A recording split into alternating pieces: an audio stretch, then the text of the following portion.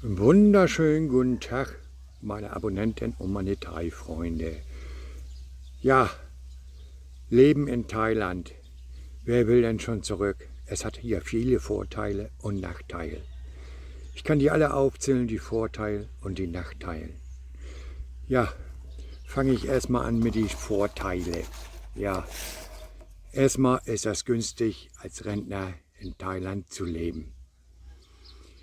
Und der klimamäßig ist gut, wenn du Asthma hast oder du hast äh, Hautprobleme. Das ist sehr gut, weil das eine Luftfeuchtigkeit hier ist, gut ist und so. Das ist gut für Ekzem und auch wenn du Atemprobleme hast, ist Thailand auch noch sehr gut, weil es eine feuchte Luft hat. Auch die Luftfeuchtigkeit ist hoch. Und wenn man auch was mit dem Rücken hat, die Wärme tut auch einen gut. Man hat weniger Schmerzen so wie bei mir. Ja, nur wenn man zu viel arbeitet, dann hat man das ja wieder. Ja, das Essen schmeckt auch gut, thailändisch Essen. Ja, gestern hat meine Frau gekocht, haben viele gefragt, warum lacht sie nicht? Nee, sie hat auch zu viel Arbeit. Sie, sie ist ja äh, eine Leiterin in der Schule und das ist sehr viel Arbeit, aber nichts für mehr Geld wie in Europa. Ja, wenn du hochkommen willst, musst du das machen. Sie ist Direktorin in einer kleinen Schule.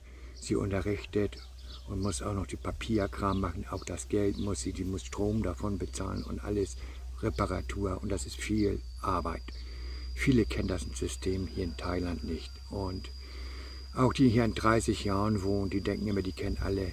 Nein, ich lerne auch Tag und täglich was zu. Viel von meiner Frau. Ja, sie sagt immer, hör auf mich. Ja, habe ich teilweise nicht gemerkt, teilweise ja. Aber man muss dann hören. Auch mit dem Führerschein hat sich das auch geändert wieder. Das werde ich auch später die Nachteile erzählen und so. Bei der Immigration auch alles. Ja.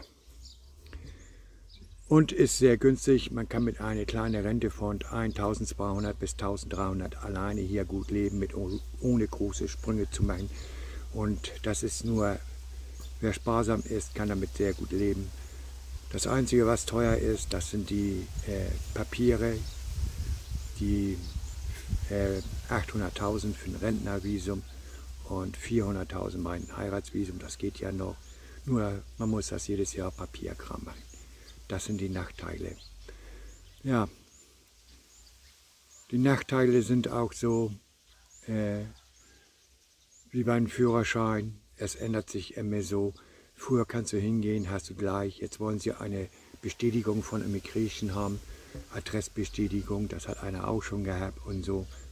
Er hat bezahlt. Gehst du zwei Wochen später hin, wenn du deinen äh, Stempel drin hast, bezahlst du gar nicht. Nur du bezahlst den Führerschein. Ja, muss ich ja neu machen.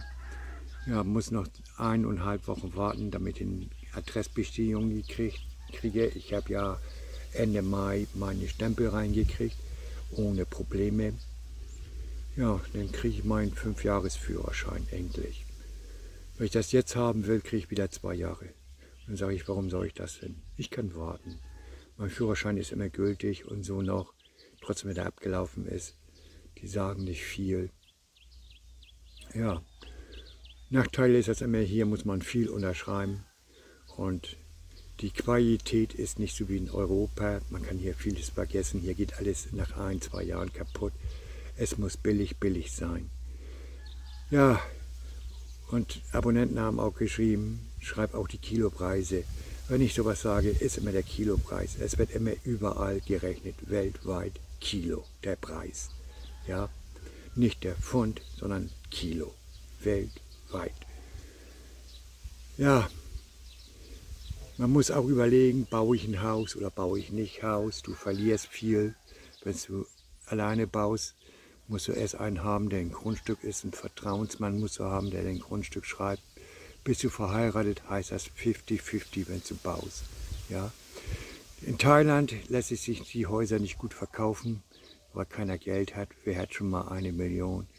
Mein Grundstück habe ich jetzt schätzen lassen durch einen Makler Der hat gesagt, 8 Millionen mit zwei Reihen, mit Gästehaus, Carport und allem mit dran. Und ja, da sagt er auch, ein schönes Anwesen. Ja, noch, sage ich immer. Ja, okay, wenn man ein Grundstück hat, hat man viel Arbeit bei zwei Reihen, Rasenmähen, jede Woche, besonders bei der Regenzeit jetzt. Ja, das gibt immer viel Arbeit. Umkraut, wenn man die Pflanzen hat. Ja, gestern habe ich gedüngt. Ja, das ist vieles. Sonst lebt sich Thailand sehr gut. Das ist stressfrei. Man macht den Stress selbst. Und äh, ja, man ärgert sich über die Handwerker manchmal, aber es geht, man muss das überwegsehen. Wie heißt das? Selbst ist der Mann. Ja. Ja, nächstes Mal werde ich noch einen Bambu holen, einen schwarzen Bambu. Das sind die äh, nicht grün, die sondern schwarz die Bambu. Und die Blätter sind auch grün, nicht schwarz. Und mal gucken, wo ich das hinpflanzen kann. Sagt meine Frau auch schon, wo will ich das hinpflanzen? Ja, mit dem Zaun habe ich mir auch vorne anders gedacht. Da mache ich so einen Blechzaun, da lasse ich die Erde ein bisschen ausschütten. Ein Hang. Und davor kommt ein Blechzaun, der kommt dann da auch ähm, eine Hecke hin, wie vorne bei meinem Carport. Die lasse ich dann auf einen Meter hoch wachsen, dann werden die geschnitten. Dann hat das genauso, den Blech ist auch einen Meter hoch, mache ich. Da können die Hunde nicht rüber und so. Und das ist sowieso ein Hang, die Leute können nicht rüber. Ja, es ist günstiger, Leute kriegt man nicht und ich brauche nicht mehr so viel arbeiten. Das ist das. Das Geld spielt keine Rolle, nur meine Frau sagt mir, ich soll nicht so viel arbeiten. Und ich laufe auch nicht lange hinterher, da muss man andere Ideen haben, sage ich. Ja, und nächste Woche werde ich dann auch hier nächsten Monat oder übernächsten Monat lasse ich Beton kommen, bevor es richtig in Regenzeit anfängt. Im September, Oktober ist das. Damit vorne wenigstens ein Weg ist und die Betonplatte fertig beim Gästehaus. Und dann den Rest in Einfahrt, dann kommt der Tür auch, das lasse ich machen. Auch von jemandem und so, muss einen Kostenvoranschläge holen und so. Ja, dann das liegt noch ein bisschen die Restarbeit davor. Danach kann ich ein bisschen Ruhe die Erde verteilen. Auf mein Grundstück lasse ich noch vier LKW Erde anfahren, auch extra, damit ich das verteilen kann, wo Lunken sind, wo ein bisschen Umweg ist, der Böschung, ein bisschen noch. Ja, und dann muss ich das zusehen, dass der Rasen da ein bisschen schneller kommt, damit das Regenwasser nicht die Erde wieder abspült. Ja, und wenn es trocken ist, hoffe ich nächstes Jahr, der, der kleine Zulauf, dass ich dann alles sauber machen kann, ein bisschen Schlamm rausholen kann. Ja, und dann kann ich Fische abfischen. Mal sehen, wie groß sie sind. Oh, sind schon große drin. Ja, meine Leute, das war mal alles. Nächstes Mal werde ich was anderes sprechen. Und ihr könnt auch mal vorschlagen, was für Themen. Ähm, Anfang dieser Woche will ich mal einen Kuchen backen. Und da werde ich das mal zeigen, wie das in Teigkuchen geht. Das ist besser, die mögen alles Softie und das mache ich auch so, ist mehr Arbeit, aber es ist besser. Okay, meine Leute, dann wünsche ich noch einen schönen Wochenanfang. Euer Sie aus Thailand. Bis nächstes Mal. Ciao.